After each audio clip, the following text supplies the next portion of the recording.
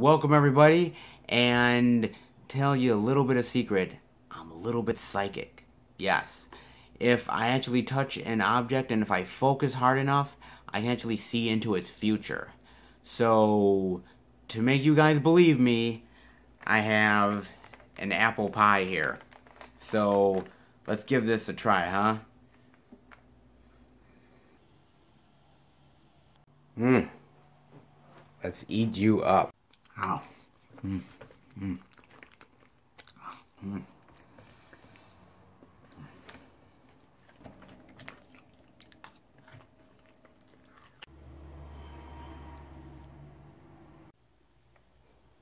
Ah. Oh. Well, I'm definitely going to murder this pie later. Never had a chance. And those psychic powers are actually stuff that helps our characters out in the movie I'll be talking about, Netflicks Nights number 17, Solace. And before I do, let's see what the good folks over at Netflix have for a synopsis for today, shall we? Dr. John Clancy has retired, but his unique psychic abilities compel his friend from the FBI to ask for Clancy's help one last time to track down a serial killer with a ghastly technique and prophetic powers of his own. Rated R and from 2016. And this is an interesting film to talk about because this film originally was supposed to be a sequel to Seven. And the idea that Morgan Freeman's character would gain psychic powers and there would be a psychic killer and he would have to track it down and honestly I've looked into this and it's really bizarre I don't know how they even came up with the concept of Morgan Freeman being psychic. I don't understand how he got the psychic powers. The film was supposed to be called Eight. And David Fincher ended up looking at the script. He hated it, he disapproved it. And this movie, or this script, I should say, sort of went in limbo for years. It got changed around constantly, and it you know, morphed into different concepts and ideas, and we finally have the movie that we have now. And, you know, I actually enjoy this movie. This movie get bombed at the box office. It didn't do well at all. People hated it. And I was ready to go into it, okay, like everyone else doesn't like it, I guess I'm not going to like it either. But that's not always the case. And this is one of those exceptions. And right off the bat, I like the concept of this killer who can see these multiple ideas and these multiple versions of what's going to happen and he's psychic so he knows exactly what's going to happen he knows that the fbi is going to come at this certain point he knows that they're going to find this object at this point. He knows that they're going to track him down at this location. He knows all this stuff. And having a psychic kind of killer, I think is kind of cool. I actually really do. And I like the idea that the FBI really doesn't know how to handle this case. They're really out of their depth. And they bring in this other psychic who is older and uh, somebody who has just been beaten down by life and who doesn't really want to help out but kind of gets dragged into this. I actually really like all that stuff. I think it's pretty solid of a base of a story. Like I said, I don't think it would work as a 7 sequel, but just a standalone movie on its own I think is fine. And I think the acting here is great. You have Anthony Hopkins, you have Jeffrey Dean Morgan, you have Abbie Cornish, and you have Colin Farrell, and all of them do well. Jeffrey Dean Morgan in this movie plays sort of the senior FBI agent who is taking on the case, and I tell you, he has a lot of charisma in this movie. I almost sort of see him as Negan in this role. I'm kind of like, wow, the charisma he has here, he brings to the Negan role, and I'm like, I wonder if the people from The Walking Dead sort of saw this movie and was like, okay, he has charisma. He can play this character. He does. He's really good job in this movie. Abbie Cornish plays the younger FBI agent, and she's very stoic and serious. She's sort of maybe a little bit too serious. Maybe she needed to be sort of a little bit looser of a character. But I think they wanted her to play sort of the uptight, sort of, you know, newbie FBI person and you know she does a decent job in it. Uh, Anthony Hopkins plays the older, sort of beaten down by life psychic who helps the FBI out, and you know he's good in this role. He's sort of playing it very sort of matter of fact, I guess. Right? He's sort of playing it like, you know, I don't care kind of a role. I shouldn't say that because he does care, but I think he plays it sort of like, well, yeah, you know, you're we're just gonna do this and we're just gonna do that and you know whatever, and this is what the result's gonna be.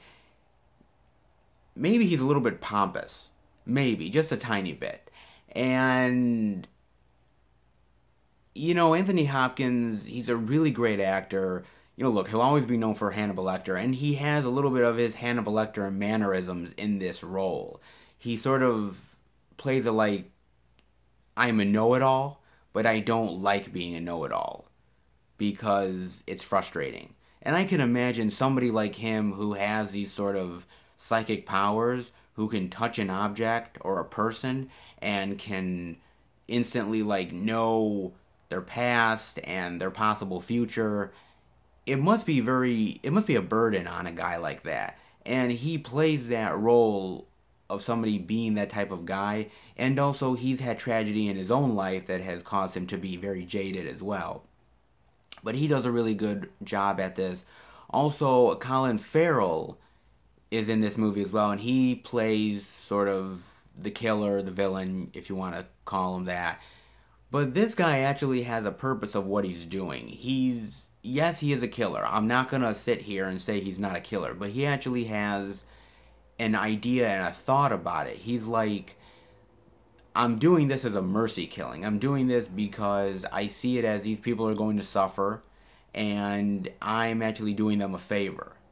And he's planned this all out to a T. He's planned everything out to a T in how he's going to kill these people, who he's picking, also he even planned everything down to meeting up with the Anthony Hopkins character and planning sort of the finale of this piece, which is actually pretty interesting. You know, and also I really got to give a lot of props to the movie itself because it has a lot of great imagery in it, sort of like imagery of sort of the psychic ideas of the imagery, sort of blood running down somebody's face, or sort of a a whole like field of flowers. I mean, or like a whole or a little girl going down a staircase with like balloons all around her. I mean, sort of really cool imagery that I think is really is really kind of cool to watch. It engages you. I will say this not a lot of the characters we really got to know in depth, and I think that's a big problem. We didn't get to know Jeffrey D. Morgan's character in depth enough. Certainly not Abbie Cornish's character, not even Colin Farrell. I would have liked everybody to be stretched a little bit more in their depth. I would have liked to have seen more of a backstory of Colin Farrell, why he's kind of doing what he's doing, just a little bit. I wanted to care about these characters a little bit more. I cared about Anthony Hopkins' character. They really developed him really well. But other people, not so much. And also, you know, I think. I think this movie sort of suffers from. I think trying to mimic other movies. I think definitely this movie tries to mimic Seven a lot. I think you can definitely tell that while watching the movie and a lot of other sort of procedural stuff. I wish it would have been a little bit more original. I wish it would have tried to maybe branch out and do its own thing a little bit.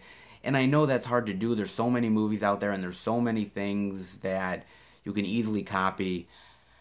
I just wish it maybe went down a different road just a little bit, but I think it's still actually a really solid movie. And it's one of those little small thrillers that I actually really enjoy. I wasn't expecting much from this. Look, I knew it bombed at the box office. I knew that people didn't care for the movie.